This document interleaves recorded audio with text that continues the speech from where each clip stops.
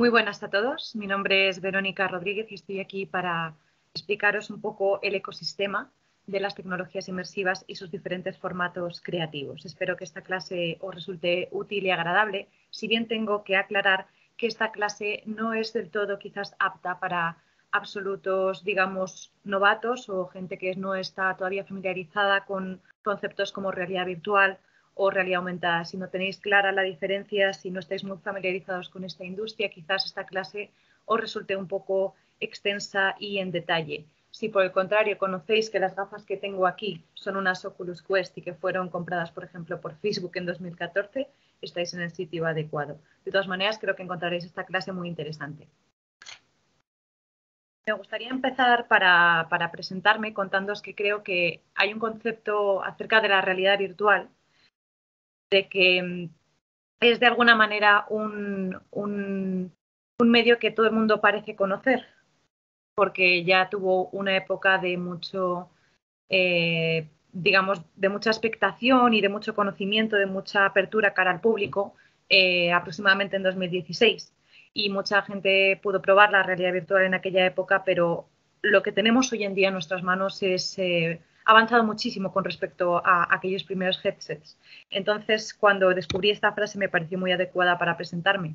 Dice que hay dos tipos de personas en el mundo, aquellas que piensan que la realidad virtual va a cambiar el mundo y aquellos que todavía no lo han probado, a lo cual yo añadiría que aquellos que la probaron en 2016 todavía podrían pensar que, esta tecnología no es lo suficientemente importante o potente como para realmente transformar eh, la sociedad o algunos aspectos de ella tal y como los conocemos y me gustaría en esta clase explicaros por qué.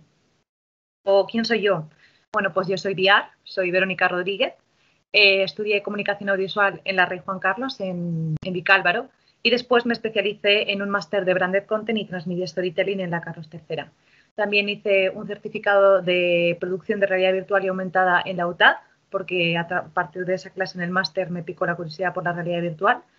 Y eh, también estuve un tiempo en Los Ángeles eh, en un curso de Unity Development y em, tras eso estuve en una startup de, realidad virtual que básicamente se dedicaba a crear otras eh, o ayudar a otras startups de realidad virtual a formar su, negocio.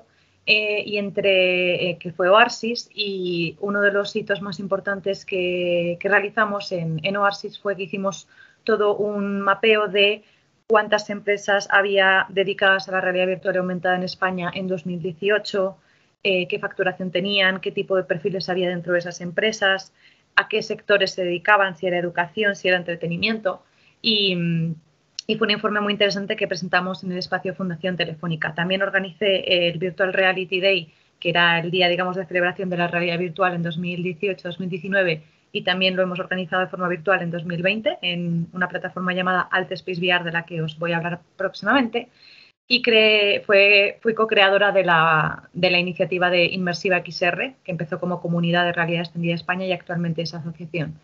Eh, y yo actualmente estoy como PR and Communications Manager en un grupo de realidad extendida que se llama Wowing Group, en el que se encuentran Real Virtual, que es el medio especializado en estas tecnologías en español, eh, y Prisma VR Studio, que es una desarrolladora muy potente de realidad virtual a nivel nacional, y BeFootball, que está empezando ahora con la industria del fútbol y de la realidad virtual.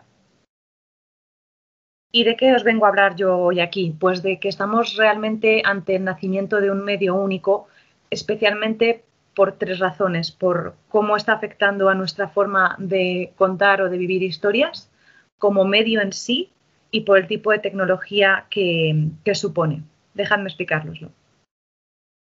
Para explicaros esto voy a hacer un poco un, juego de imaginación y vamos a ir transportándonos hacia diferentes portales para entender un poquito eh, la historia detrás de, este, del nacimiento de este medio único.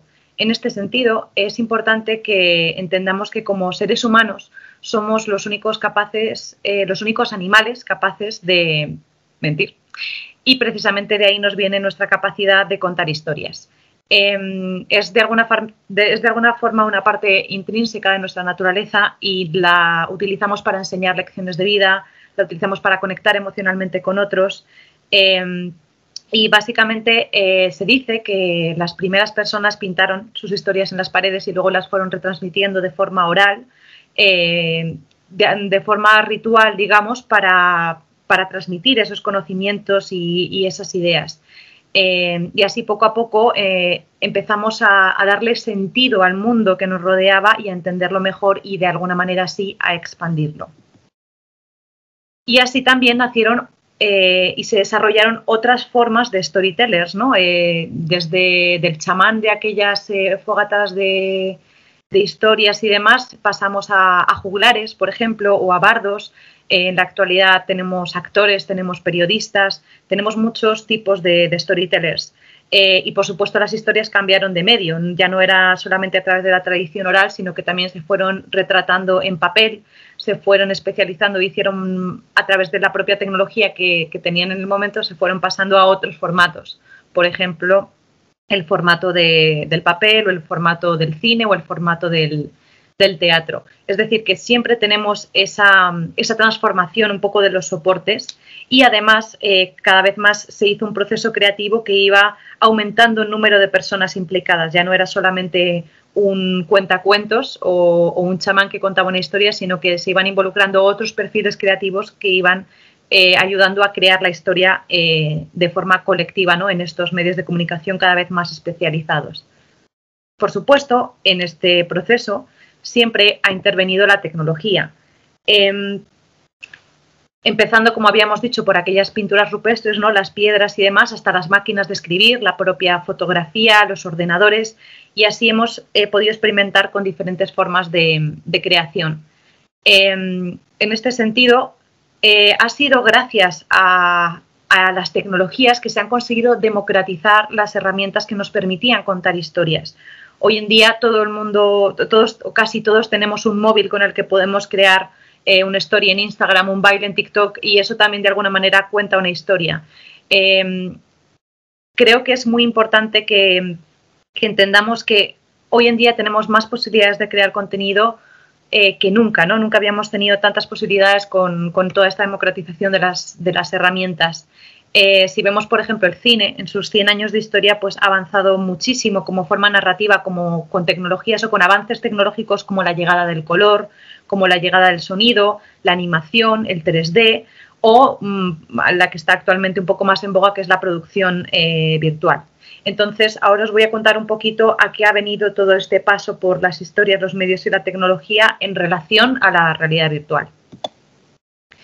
La primera reflexión que deberíamos hacer, digamos, con respecto a las historias es que, podemos construir en medios de tecnologías eh, inmersivas como la realidad virtual es que, bueno, es, eh, es, curioso que a la realidad virtual como cliché se le ataca o se le achaca el hecho de que eh, el creador ¿no? El que, el que hace la historia pierde un poco el poder sobre el mensaje que llega porque cuando la persona se pone las gafas de realidad virtual, mira a todas partes, ¿no? No tiene unas instrucciones claras, no tiene un frame o un marco en el que detenerse y que le diga exactamente qué está haciendo ese personaje o dónde puede mirar o dónde no. Em, pero en realidad creo que tenemos muy superado en la actualidad, pues eso, que, no haya un control sobre el mensaje final, ¿no? que, que esas historias eh, colectivas y sus mensajes eh, nos llegan y nosotros participamos de, ello. Eh, y esa es un poco precisamente la, yo creo que la esencia del storyteller original, ¿no? La, capacidad de relatar algo que cada cual entienda y viva a su propia manera. y por eso siempre vamos a contar y a recibir la historia de una forma subjetiva, pero el foco puede ser más profundo que una historia. El foco puede estar en nuestra historia, en que nosotros la construimos y en que nosotros somos las protagonistas. En este sentido, la realidad virtual es una forma más que de contar, de vivir una historia, porque al estar en el centro de, digamos, de un entorno o de una narrativa que nos rodea, es fácil sentir más que nunca que somos protagonistas de, de aquello que se nos está haciendo experimentar o vivir. La segunda reflexión que me gustaría que tuviéramos eh, en este sentido es que la realidad virtual es un medio sumamente joven. Ha avanzado muchísimo en muy poco tiempo. Eh, pensad que en su versión moderna, la que podamos conocer más hoy, eh, fue a partir de 2014 con la compra de Facebook que compró Oculus, cuando se ha empezado a despegar la realidad virtual, digamos, moderna, pero hubo una serie de experimentos y de avances en los 90.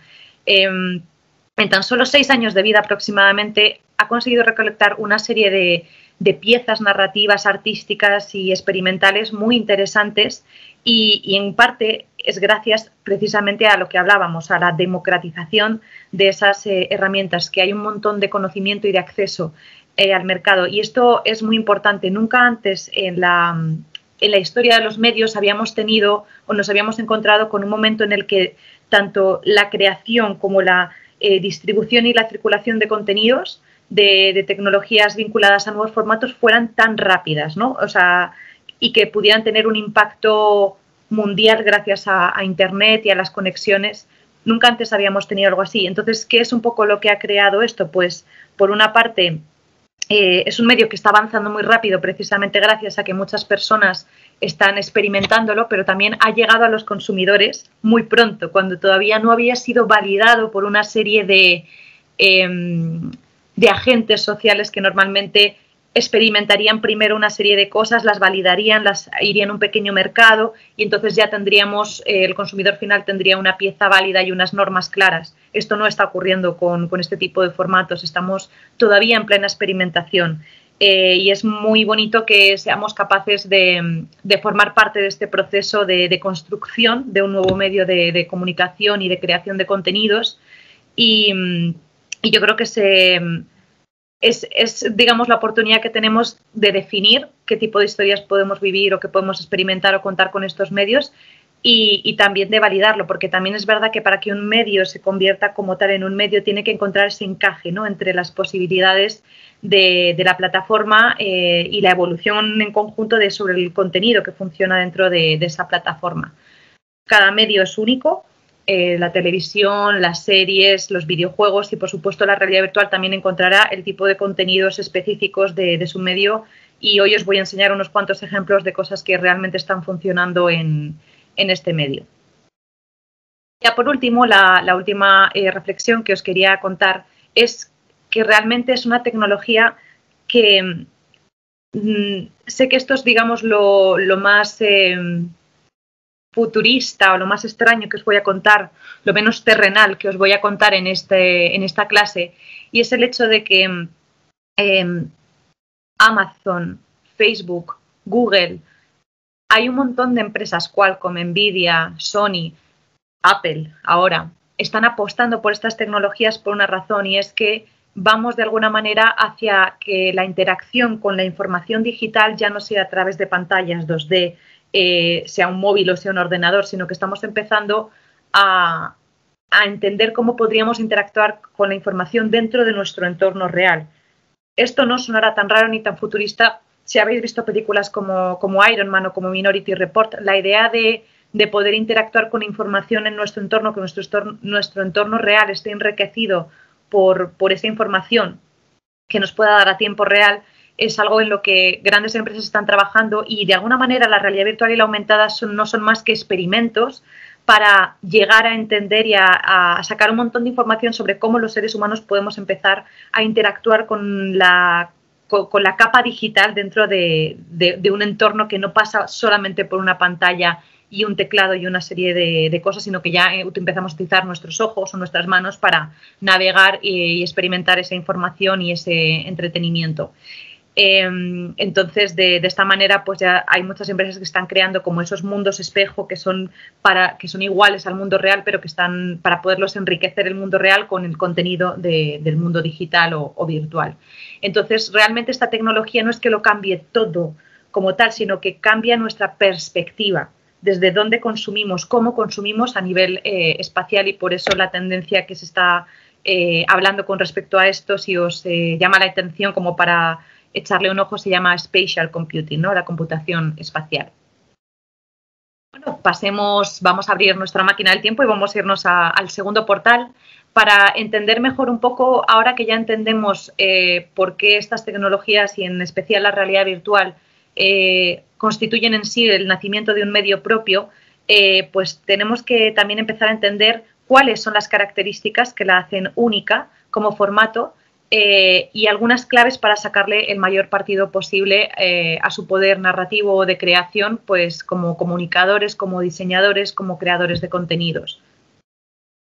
este sentido, si bien, como os digo, es un medio todavía eh, en crecimiento, en definición y que en plena experimentación, sí que hay una serie de características que se han empezado a identificar desde ámbitos más académicos y más profesionales, como que son únicas de, este medio.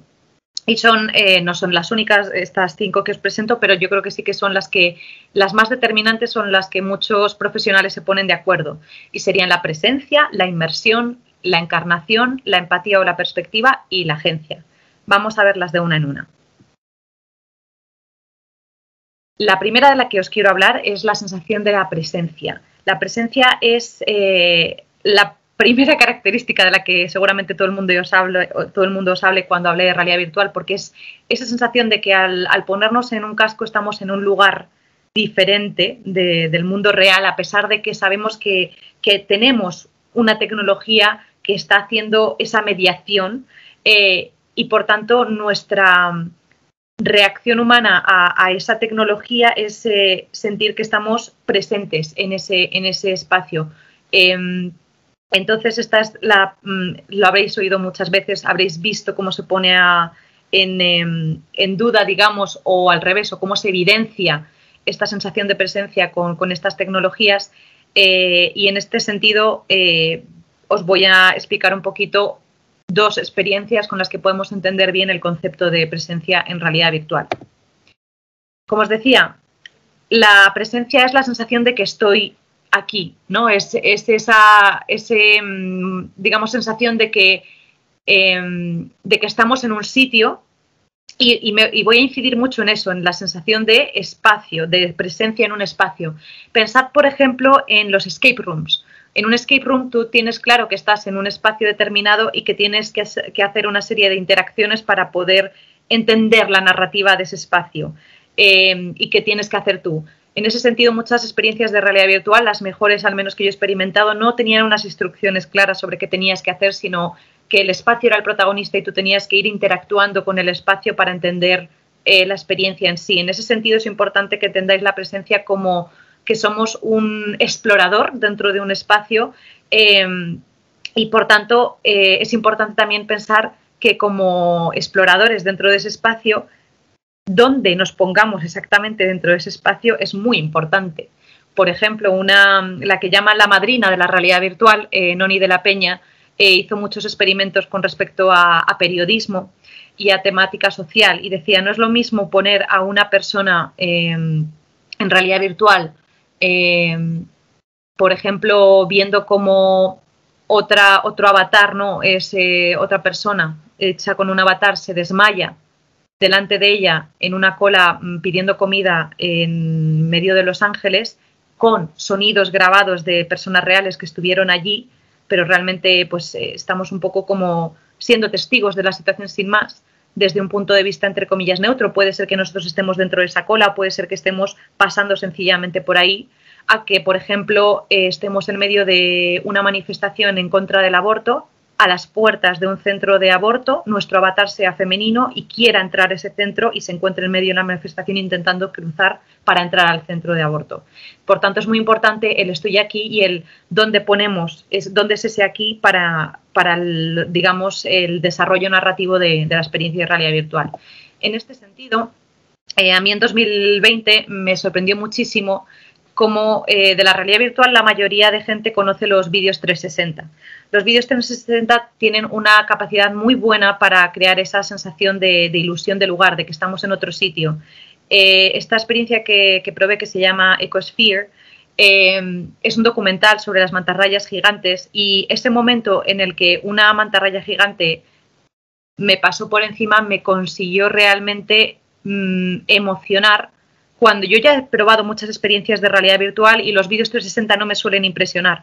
¿Por qué? Porque aparte de que por la propia tecnología había una sensación de profundidad y de, de relieve gracias a la estereoscopía, al haberlo hecho en un entorno marino, era, mm, digamos, muy, muy realista la sensación y yo realmente conseguí sentir un wow cuando me pasó esa mantarraya por delante, realmente esa ilusión de lugar estuvo muy bien conseguida con, esta experiencia. Otra forma de conseguir esa, experiencia de presencia es cuando sentimos eh, ya no que el lugar es real a nivel, pues por el grado de realismo físico o de... Claro, yo sentía que estaba bajo el agua porque había una serie de peces, la propia mantarraya era, era grabado real. En este caso estamos viendo una experiencia de diésel en la cual no había un entorno real, era todo generado por ordenador, pero la sensación que nos crea de vértigo es tan fuerte, es tan real, es verdad que no funciona igual para todo el mundo, hay gente que tiene vértigo y esto le afecta, y hay gente que, mm, por lo que sea, entiende que es falso, entiende que es artificial y no le afecta, pero eh, está comprobado que la realidad virtual eh, consigue de alguna manera engañar a nuestro cerebro, a nuestro cerebro y hacerle pensar que está en un sitio diferente y por tanto crea un vértigo real en, nosotros. Y, es muy interesante ver las reacciones de la gente a este tipo de experiencias de, altura o de miedo. Se consiguen realmente algo que no puedes conseguir con la televisión, no puedes conseguir con un videojuego. Eh, solamente este tipo de medios o estar en una situación real parecida, o sea, realmente es una simulación de la realidad y en eso es muy buena. La segunda característica de la que os quería hablar es eh, la capacidad de la tecnología para sumergir completamente al usuario en un entorno haciéndole sentir que está allí. Y me diréis, pero si ya hemos visto que la presencia es la, sensación de estar allí, ¿en qué difiere de la, de la inmersión? Bueno, pues os diré que la presencia es subjetiva, es personal. Yo puedo tener más o menos sensación de presencia según eh, mi propia, digamos, eh, voluntad de creer la situación o no, eh, mientras que la inmersión tiene que ver más con la tecnología. Es decir, yo he probado diferentes, perdón, he probado la misma experiencia de realidad virtual con sistemas de inmersión diferentes y he tenido sensaciones de presencia diferentes.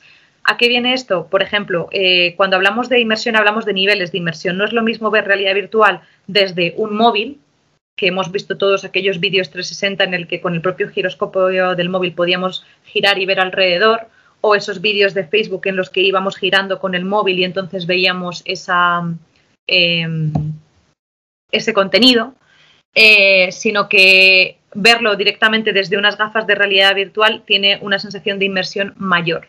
Entonces, es verdad que la, inmersión es una sensación eh, frágil, es, es, muy fácil romperla, si algo falla, si nosotros eh, detectamos el artificio, si mm, la cámara se queda falla, ¿no? O hay algún tipo de, defecto en la, imagen o sencillamente intentamos agarrar algo y no lo conseguimos, eh, puede romper esa sensación que tenemos de, inmersión porque la tecnología falle, pero eh, si la utilizamos bien es sumamente poderosa.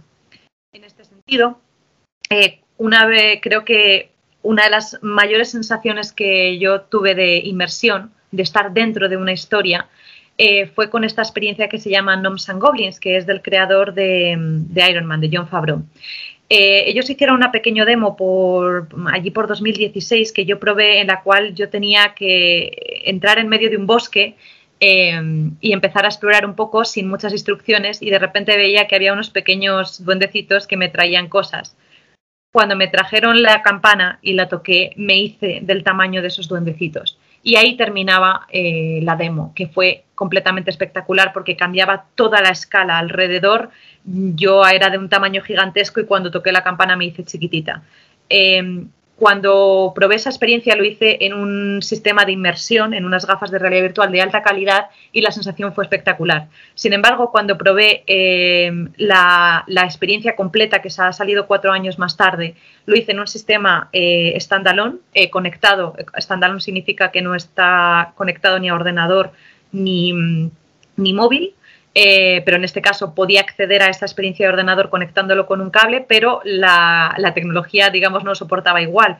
Entonces, la experiencia podría haber sido espectacular, pero como el sistema de inmersión que utilicé no era el adecuado, eh, mi experiencia fue un poco peor porque la, calidad de la imagen no iba a tiempo, ¿no? El, el, retraso con respecto a lo que yo veía no termina de funcionar bien y aún así es una experiencia impresionante en la que me sentí parte de la historia, pero sobre todo para que entendáis a lo que me refiero con inmersión. Inmersión tiene que ver con la tecnología y es un poquito más objetiva.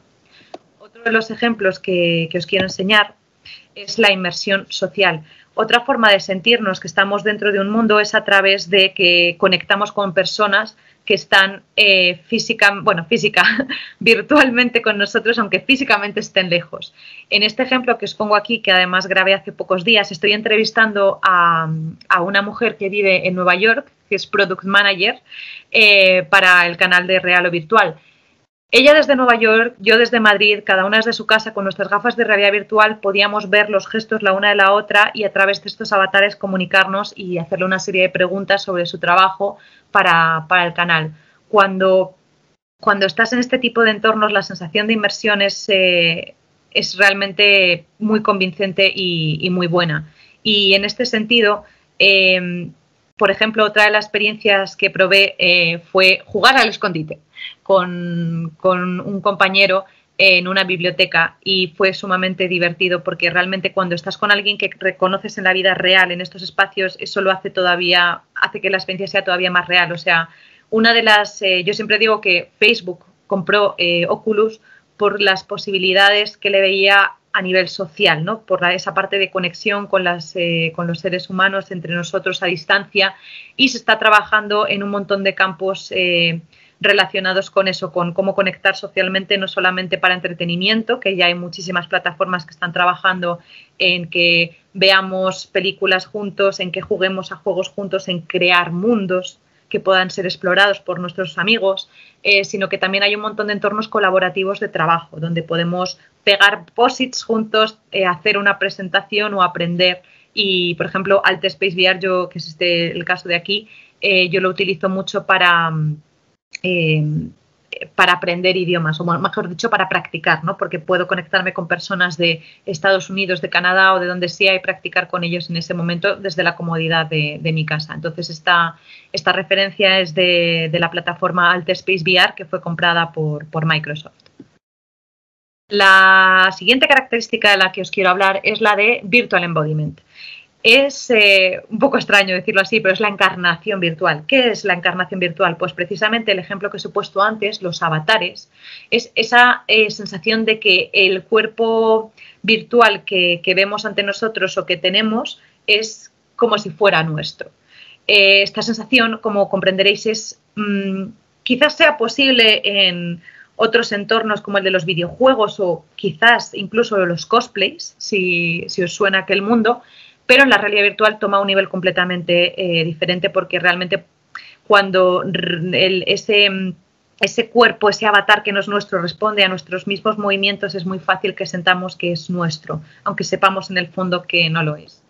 Em, ¿Qué implicaciones tiene esto a nivel narrativo y de creación? Pues que realmente ponernos en la piel de otra persona eh, tiene consecuencias o implicaciones eh, relacionadas con, el bias, que llaman en inglés, con el sesgo, eh, muy curiosas. Por ejemplo, eh, si nosotros tuviéramos el avatar de una persona negra, ¿tendría sentido que fuéramos racistas con otras personas de raza negra? Quizás no, ¿verdad? Eh, o si tuviéramos el avatar de un gigante, ¿deberíamos comportarnos de forma brusca y torpe? O si tuviéramos un cuerpo atractivo deberíamos comportarnos de forma tímida. En este sentido, hay una, eh, una leyenda, digamos, eh, de Grecia que habla del efecto de, Proteo que la estuvieron analizando unos investigadores de la Universidad de Stanford que básicamente, eh, bueno, el dios Proteo tenía la capacidad de cambiar de forma a placer.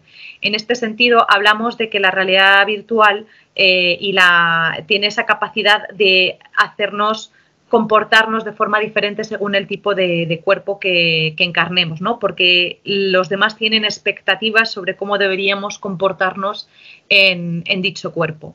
Em, os voy a dar dos ejemplos en los que creo que vais a entender mucho mejor este concepto. Eh, el primero es especialmente curioso porque, eh, aparte de que es bastante innovador y bastante mm, reciente, nos permite no solamente encarnar eh, un, personaje de, una historia, sino que además nos permite cambiar nuestra decisión si queremos volver a experimentar la historia y encarnar otro personaje diferente. Y respecto a las implicaciones que tiene para nosotros encarnar un personaje otro, aquí, por ejemplo, la primera vez que yo em, decidí probar esta experiencia, eh, yo era la hermana mayor de una familia que tenía que ir a, buscar una cura para, la madre. En un momento dado de la historia eh, nos encontramos con una decisión muy difícil y como hermana mayor decidí que yo tenía que sacrificarme frente a mi hermana pequeña. Eh, cuando y además dentro de esa decisión os voy a hacer un poquito de spoiler cuando tomas esa decisión, de repente pasas a encarnar al que parecía el antagonista de la, experiencia. Todas las interacciones que yo hacía a lo largo de esta, de esta historia interactiva, que iban desde mm, coger una espada o levantar una linterna o cosas por el estilo, me hacían estar realmente involucrada y pensar que, ese, ese, cuerpo era mío y que ese personaje que yo estaba representando tenía que hacer ciertas acciones. Es muy interesante este ejemplo, os lo recomiendo, se llama eh, Baba Yaga de Baobab Studios. En este sentido, el Virtual Embodiment también se ha explorado mucho desde el campo académico y psicológico. Y, por ejemplo, en, este ejemplo que os pongo aquí de Einstein, es un ejemplo de Project Lab, creo que se llama, de, un investigador muy conocido en, este entorno que se llama Mel Slater, que está en Barcelona, que ha hecho un montón de experimentos en relación a eh, cómo nos comportamos según qué tipo de avatar tenemos y todo este tema de la, del virtual embodiment, ¿no? de la encarnación virtual. En este experimento en concreto lo que se intentó probar era si encarnar el, avatar de una persona famosa e inteligente como era eh, Einstein nos podía dar cierta seguridad sobre nuestras capacidades y hacernos, entre comillas, más inteligentes. Bueno, pues eh, los resultados de este experimento eh, básicamente se probaron con, respecto a dos grupos, eh, personas que tenían una alta autoestima y personas que tenían una baja autoestima. Em, cuando personas que tenían una autoestima mayor encarnaban a Einstein, cometían fallos, pero porque se creían que al ser Einstein eran inteligentes y no podían cometer ningún error frente a las personas que tenían, por ejemplo, eh, una menor seguridad que se comportaban eh, como, como, correspondía al cargo. ¿no? Si eran Einstein, tenían que ser inteligentes y, por tanto, se esforzaban más en, tener un resultado inteligente. Eh, entonces, para que veáis cómo nos puede afectar el tipo de, de personaje o de avatar que en principio encarnamos. El siguiente ejemplo que os voy a poner eh, perdón, la siguiente característica que os voy a explicar eh, también es muy, muy característica de la realidad virtual y es la que se llama agency o agencia. ¿Qué es la agencia? Es la capacidad eh, de que con nuestros, nuestras acciones lleguemos a influir en un entorno artificial. ¿A qué me refiero con esto? bueno, pues que si yo creo que con, mi mano voy a poder tumbar una pared, ¿no? Porque se supone que tengo ese superpoder porque soy un X-Men, por ejemplo, o que puedo tirar una, una taza y esa taza se va a caer, esa capacidad que yo tengo de influir en el entorno me ayuda.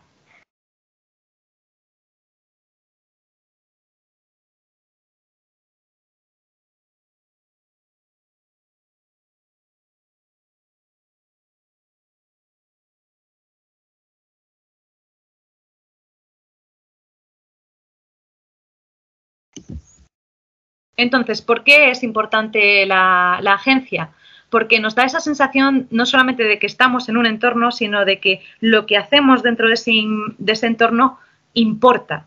Es realmente la capacidad que tenemos de expresar nuestra voluntad y de cambiar nuestro entorno con nuestra propia interacción que desencadena una serie de, acciones. Es cierto que para que funcione eh, tiene que haber cierta relación entre lo que las expectativas que tenemos, ¿no? Lo que pretendemos hacer y lo que realmente ocurre. Y mientras que se respondan a esas expectativas, la agencia funciona muy bien. ¿A qué me refiero con esto? Pues mucha gente cuando se pone realidad virtual em, hace este gesto, como que quiere tocar algo, como que quiere agarrar los objetos que tiene alrededor. La mayoría de experiencias de realidad virtual no están preparadas para ello, ¿no? Son vídeos 360 en los que realmente no hay interacción, pero cuando estamos en una experiencia de realidad virtual creada por ordenador en la que sí que hay una preparación para que los objetos respondan a nuestras acciones, cuando eh, vemos que estamos en un entorno que parece espacial y de repente alguien pulsa un botón y la gravedad empieza a subir y vemos que todo funciona según esa gravedad y que si le damos a un objeto, ese objeto se comporta como veíamos en las películas de una forma lenta y demás, eso hace que sintamos una sensación de agencia eh, muy, eh, muy real. Pero creo que os lo, lo vais a entender mejor con estos dos ejemplos que os voy a poner. Em, este ejemplo es eh, una función de teatro en realidad virtual a tiempo real. ¿Qué quiere decir esto? Pues que en verano, creo que fue, yo compré una entrada eh, para un día concreto y para una hora concreta en la que me conecté con mis gafas de realidad virtual em, a esa experiencia, esperé mi turno, me llevaron a una, a una sala de espera y después me uní con un actor, bueno, en mi caso era una actriz, a tiempo real y otros tres espectadores que realmente participábamos de la historia, a una historia en la que a través de la actriz nos iba guiando en una narrativa en la que nosotros teníamos poder de agencia. Lo que nosotros hacíamos dentro de ese entorno tenía una repercusión. Por ejemplo, en un momento dado la actriz nos pidió en un entorno que le trajésemos eh, objetos que había alrededor para que ella nos contara la historia de esos objetos. Yo decidí, eh, por cierto, en esta experiencia no nos podía oír nosotros no éramos capaces de hablar, solamente nos movíamos por, gestos. Eh, yo decidí llevarle un anillo que había por allí y para ver hasta qué punto había una actriz allí detrás, atenta a todo lo que yo hacía, decidí agacharme y dárselo como si fuera un, un anillo de compromiso. A lo cual ella dijo, oh, intenta sugerirme algo, parece una proposición o en un momento dado nos pidió sugerencias sobre cómo matar a su enemigo y yo señalé el fuego para decirle que sería buena idea quemarlo o hacía signos con la mano para que fuera como degollar y a todo eso ella fue reaccionando y realmente estaba allí y lo que yo hacía tenía una repercusión. Tanto que casi me cargo la historia. En un momento dado me interpuse entre dos personajes pensando que tenía que hacerlo y ella me indicó, no, espíritu malo, lo estás haciendo mal, eh, tú estás de mi parte para que veáis hasta qué punto el estar allí y la agencia que tienes en, una experiencia puede realmente cambiar el curso de la historia a riesgo de cargarte entre paréntesis una obra de teatro de realidad virtual. Pero desde luego fue una experiencia eh, alucinante que aconsejo a cualquiera que le pueda interesar. Otra de, los ejemplos que os quería traer con respecto a la agencia es em, el, el, videojuego de Half-Life Alyx. Disculpad que está incorrecto el título aquí arriba. Em, que es uno de los juegos de realidad virtual de más éxito del año pasado y me atrevería a decir de este. ¿Por qué? Porque tiene, mm, digamos, una sensación de que todas aquellas expectativas que podamos tener con respecto a nuestras acciones funcionan muy bien. Si yo, esta persona no se llega a agachar, el monstruo le habría visto. Eh, si le tira una piedra a una paloma, esa paloma vuela. Eh, incluso eh, en un momento dado toca unos cristales que están mohosos y puede quitar la suciedad con los dedos y escribir sobre, esas, em, sobre esos eh, cristales. Es decir, la sensación que, podemos tener de que nuestras acciones tienen, lo dicho, una consecuencia es, eh, es muy buena y cuando esto ocurre en realidad virtual es sumamente poderoso. Pues también os quería hablar, eh, por último, porque quizás es un poco la más comprometida, de la empatía. Se decía que la realidad virtual es la máquina de generar empatía. Eh, pero ¿qué entendemos por empatía? Pues un poco esa capacidad de, compartir psicológicamente la perspectiva de alguien, eh, de caminar en sus zapatos o de ver las cosas desde su, punto de vista. En este sentido, hay que entender que em, la empatía o el, poder de involucrar emocionalmente a alguien con una experiencia tiene una gran responsabilidad, el hacer que podamos a lo mejor hacer sentir a una persona eh, vulnerable o violenta o de cualquier otra forma, pues tiene una serie de, consecuencias. Hay experiencias de realidad virtual que yo no he querido probar porque sabía que me iban a afectar eh, por mi forma de ser.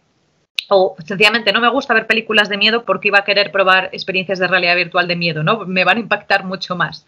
Eh, entonces también hay que entender que aquello de la, de la empatía está muy discutido que realmente sea capaz de hacernos cambiar nuestro sesgo con respecto a algo. Nunca vamos a ser capaces de entender por lo que pasa un refugiado por más que veamos un vídeo 360 o cómo se siente una persona recluida en una cárcel de máxima seguridad con un espacio mínimo por más que eh, por un ratito pasemos una experiencia de realidad virtual en el cual tengamos una celda de las mismas dimensiones que tiene esa persona en la vida real. Pero sí que es verdad que esta, esta tecnología nos puede ayudar a cambiar la perspectiva, ¿no? a cambiar un poco nuestra forma de ver las cosas.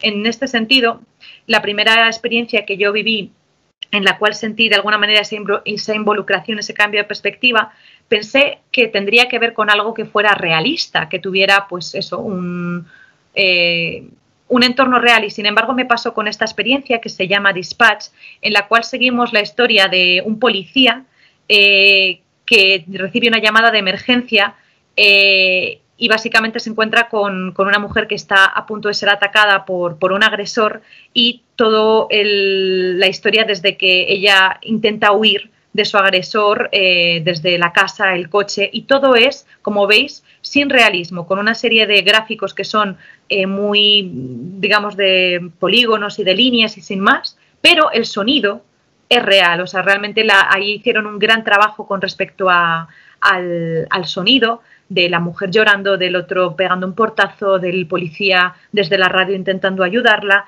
Y claro, fue una experiencia sumamente impactante porque yo sentía que estaba allí con la mujer cuando estaba a punto de entrar su agresor, eh, sentía la angustia cuando estaba intentando conducir para escapar de él y sobre todo porque también teníamos al policía detrás intentando darle instrucciones sobre qué hacer. Así que, para que veáis que la empatía o ese cambio de perspectiva no necesariamente necesita de realismo. Otra de los grandes ejemplos que hay en este respecto y que ganó un, Oscar fue el de Carne y Arena, eh, que fue creado por Alejandro Iñaguiratu, es un director mexicano, que básicamente lo que hizo fue eh, un, ejemplo de eh, exhibición multisensorial. En este sentido, lo que hizo fue querer retratar la experiencia de, inmigrantes, de, personas que cruzan la frontera de México a Estados Unidos en busca de una vida mejor y lo quiso hacer de una forma muy realista, con captura de movimiento, con historias reales, con grabación de sonido y demás, pero además le quiso meter como esa capa sensorial aparte cuando las personas al entrar eh, en esta experiencia pisaban arena real, estaban descalzos, había viento, em, es un poco virtualmente presente, físicamente invisible. Todo este sistema de, realidad virtual fue un poco para eh, denunciar o hacer más consciente a la gente de, lo que realmente puede suponer eh, la experiencia de, bueno, de intentar cruzar el borde de la frontera ¿no? para, para, estas personas y lo acompañó también de una exposición física donde había objetos reales de aquellas personas. Entonces, em, la involucración puede ser realista, o sea, multirealista, por así decirlo, o puede no serlo y aún así tener unas consecuencias de involucración ¿no? emocional en la experiencia. Como veis, em, me gustaría daros un último ejemplo con respecto a esto de la involucración y para ello me gustaría presentaros a Barry. Em, Barry ya está un poco mayor, tiene casi 60 años y lleva toda la vida trabajando en su empresa. Eh, y a vosotros os ha tocado la desagradable em, tarea de despedirle. ¿Qué pasa? que si le despedís un poco mal, eh, Barry se va a poner violento. Y si le despedís demasiado mm, flojos, por así decirlo, si sois demasiado delicados a la hora de comunicarle, perdón, demasiado fuertes a la hora de comunicarle la decisión, Barry seguramente se ponga a, a, llorar y os diga desesperado que desde que murió su mujer y sus nietos ya no le llaman, el trabajo es lo único que le queda. Barry existe únicamente para que le despidas. Es un sistema eh, de entrenamiento, eh, un software de realidad virtual eh, preparado como un módulo para que las personas de recursos humanos puedan enfrentarse a situaciones complicadas y saber cómo reaccionar ante ellas, alimentado, por supuesto, Barry por inteligencia artificial. Para que veáis, un gran poder conlleva una gran responsabilidad y se están haciendo cosas em, muy, muy increíbles, pero que a lo mejor pueden rayar un poco esa parte eh, ética o moral, ¿no? De, bueno, el tipo de cosas que se pueden hacer con estas tecnologías. Eh, como veis, hemos pasado por multitud de aplicaciones y sectores y creo que no sois conscientes y por eso vamos a hacer este pequeño repaso. Eh, a través de las diferentes características que os he explicado de agencia, inmersión, presencia, virtual embodiment, hemos visto documentales, hemos visto eh, ejemplos de marketing, hemos visto narrativas interactivas en primera persona, hemos visto eh, redes sociales mm, en realidad virtual, inmersivas, hemos visto narrativas en las cuales podemos eh, cambiar de personaje, hemos visto aplicaciones psicológicas, hemos visto teatro inmersivo, videojuegos, eh, narrativas que tienen que, que, explotan más el audio o la parte más de concienciación social y también experiencias de formación. Em, como veis, la realidad virtual se utiliza en múltiples ámbitos y en este sentido quería explicaros cuáles son los eh, más populares o los más conocidos. Eh, creo que uno de los que más éxito está teniendo últimamente es el social, ¿no? ¿Por qué? Porque ha habido un auge de usuarios y de plataformas, especialmente en, desde el ordenador, donde podemos eh, meternos y realmente vivir experiencias, ya sea conversaciones o juegos, con otras personas eh, mediante la realidad virtual. Y esto nos debería sonar raro con todo el éxito que está teniendo plataformas como, como Fortnite, ¿no? Eh, otro de los campos de entretenimiento donde la realidad virtual tiene mucho éxito también es la parte experiencial, toda la parte de marketing o los parques de atracciones, eh, los arcades, ¿no? donde podemos ir varias personas con, con, una serie de equipaciones a matar zombies, a escapar de un monstruo o a, sí, a vivir una serie, digamos, de experiencias de forma colectiva en las que todo el entorno a nuestro alrededor se transforma. Y, por supuesto, en la parte más individual, el gaming, ¿no? Es un nuevo nivel eh, a la hora de jugar, en el que podemos realmente, eh, y esto es el claim que ha utilizado Oculus en su última eh, campaña, que es juega de verdad, ¿no? Porque a través del mando de las pantallas no es tan impactante como realmente estar dentro de esa situación, dentro de ese juego. Entonces, por supuesto, ahí se explotan muy bien todas las características de, la realidad virtual.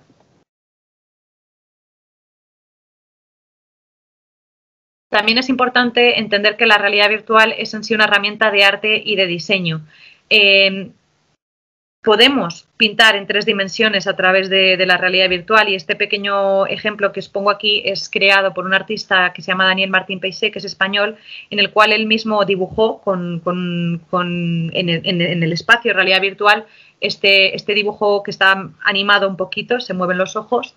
Eh, entonces es una herramienta eh, impresionante para, crear arte, pero también es una herramienta con la que se puede, eh, con técnicas como la fotogrametría, preservar o capturar la realidad y poderla experimentar desde, desde las gafas de forma inmersiva. Nunca podríamos ver todos los detalles de un edificio como el que tenéis en el segundo vídeo si no fuera a través de la, de la realidad virtual que nos deja meternos en cada rincón de, de, aquel espacio y verlo en detalle como si estuviéramos dentro. Y por supuesto está la parte de diseño. Hay aplicaciones de realidad virtual y de realidad aumentada que nos sirven para prototipar y diseñar a escala que por ejemplo en este caso que os pongo aquí lo utilizan eh, McLaren para, el diseño de sus, de sus automóviles. Con respecto al, futuro, podríamos decir que hay una gran apuesta para que este tipo de tecnologías eh, en un momento dado evolucionen eh, y se lleven también al entorno eh, de las gafas, digamos, ya no tanto los cascos de realidad virtual, sino las que llaman las smart glasses, las gafas de realidad aumentada que podríamos llevar como gafas normales. Em, Apple ya está prácticamente metida en el juego, Facebook está desarrollándolo, Lenovo también, entonces en este sentido...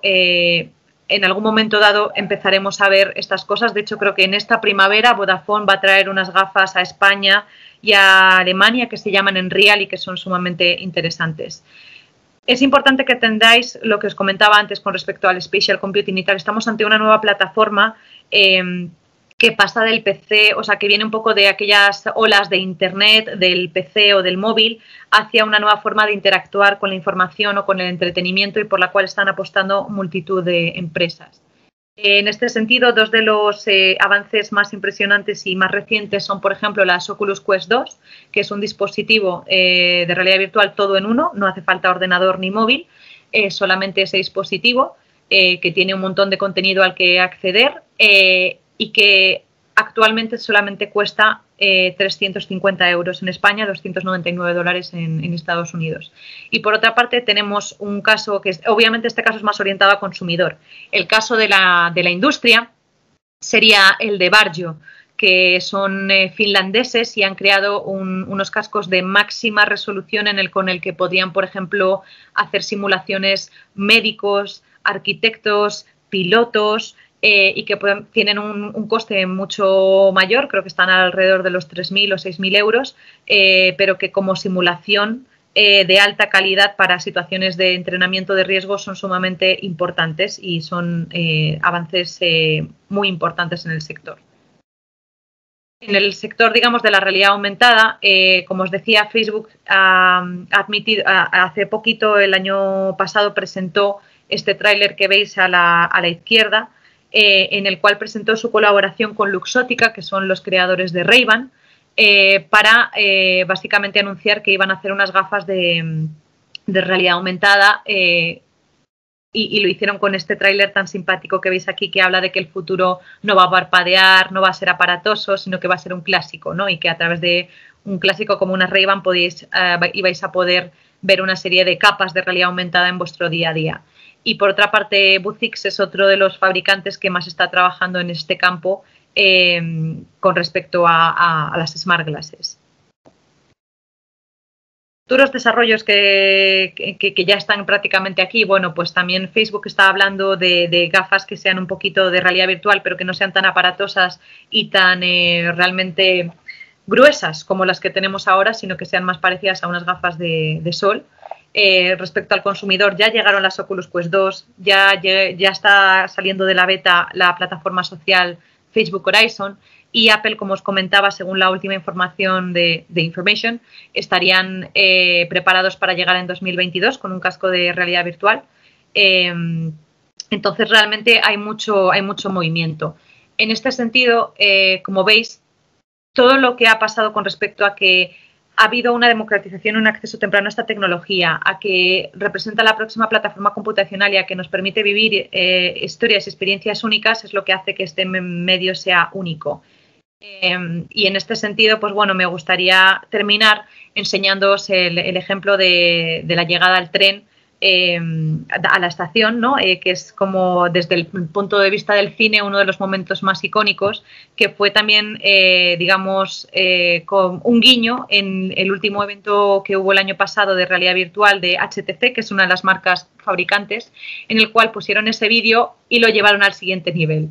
Esa persona que veis ahí en el vídeo, que parece un personaje de mentira, es realmente el presidente de China de HTC que estaba dando una conferencia sobre, eh, digamos, las presentaciones de ese año de la marca de HTC eh, en una plataforma virtual. Él estaba desde su casa y los demás asistentes desde la suya y se juntaron en esa plataforma virtual para ello.